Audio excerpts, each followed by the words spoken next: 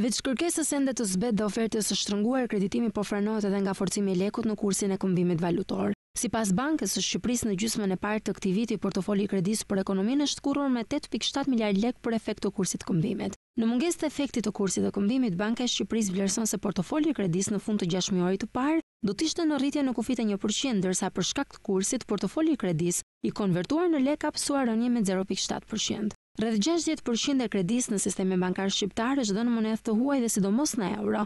Shifrat e kreditimit të ekonomisë paraqiten të konvertuara në monedhën vendase në lek dhe rrjedhimisht Forcimi i lekut cilë një rivlerësim në ulje të portofolit të kredis në valutë. Gjatë këtij viti, leku është forcuar ndjeshëm si ndaj euros ashtu edhe ndaj dollarit amerikan. Euro ka prekur nivelin më të ulët që nga viti 2009 dhe në mesin e këtij viti, euro u zhvlerësua me rreth 3.5% krahasuar me të njëjtën periudhë të një viti më parë edhe më i thellë ishte zhvlerësimi i dollarit amerikan që për të njëjtin interval kohor humbi 6.5% vlerës kundrejt lekut.